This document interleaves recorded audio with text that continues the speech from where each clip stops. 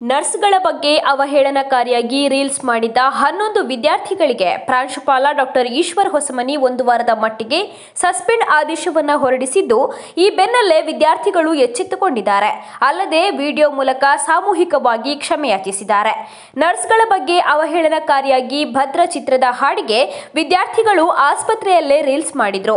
ಈ ರೀಲ್ಸ್ ಸುದ್ದಿಯಾಗುತ್ತಿದ್ದಂತೆ ನರ್ಸ್ಗಳು ವಿದ್ಯಾರ್ಥಿಗಳ ವಿರುದ್ಧ ಸೂಕ್ತವಾದ ಕ್ರಮವನ್ನು ಕೈಗೊಳ್ಳುವಂತೆ ಆಗ್ರಹಿಸಿದ್ರು. ಈ ನಿಟ್ಟಿನಲ್ಲಿ ಹನ್ನೊಂದು ಜನ ವಿದ್ಯಾರ್ಥಿಗಳನ್ನ ಒಂದು ವಾರದ ಮಟ್ಟಿಗೆ ಅಮಾನತು ಮಾಡಿದ್ದು ವಿಡಿಯೋ ವೈರಲ್ ಆದ ಬಳಿಕ ವಿದ್ಯಾರ್ಥಿಗಳು ಕ್ಷಮೆಯನ್ನ ಕೇಳಿದ್ದಾರೆ. ರೀಲ್ಸ್ ಮಾಡಿದ್ದು ಮನರಂಜನೆಗೆ ಆದರೂ ನಾವು ನರ್ಸ್ಗಳಿಗೆ ಕ್ಷಮೆಯನ್ನ ಕೇಳ್ತೇವೆ ಎಂದಿದ್ದಾರೆ. ನಮಸ್ಕಾರ.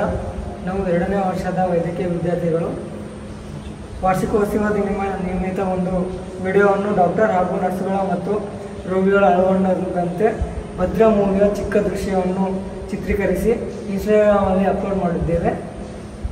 ಈ ವಿಡಿಯೋದಲ್ಲಿ ಬರುವ ದೃಶ್ಯಗಳು ಕಾಲ್ಪನಿಕ ಹಾಗೂ ಮನೋರಂಜನೆಗಾಗಿ ಚಿತ್ರಿಸಿದ್ದು, ಇದರಿಂದ ನರ್ಸಿಂಗ್ ಸಿಬ್ಬಂದಿಗೆ, ಸಿಬ್ಬಂದಿಯ ಮನಸ್ಸಿಗೆ ಅತೀವ ನೋವಾಗಿದೆ ಎಂದು ನಮಗೆ ತಿಳಿದು ಬಂದಿದೆ ನರ್ಸಿಂಗ್ ಸಿಬ್ಬಂದಿಗಳನ್ನು ಅವ ಅವಹೇಳನೆ ಮಾಡುವ ಉದ್ದೇಶವಾಗಲಿ, ಅಪಮಾನ ಮಾಡುವ ಉದ್ದೇಶವಾಗಲಿ ನಮಗಿರಲಿಲ್ಲ ಈ ವಿಡಿಯೋದಿಂದ ಮತ್ತು ಅದರಲ್ಲಿ ಬರುವ ಪಾತ್ರಗಳಿಂದ ಯಾರಿಗಾದರೂ ಮನಸ್ಸಿಗೆ ನೋವಾಗಿದ್ದಲ್ಲಿ ನಾವು ಎಲ್ಲರಿಗೂ ಕ್ಷಮೆಯನ್ನು ಕೇಳುತ್ತೇವೆ.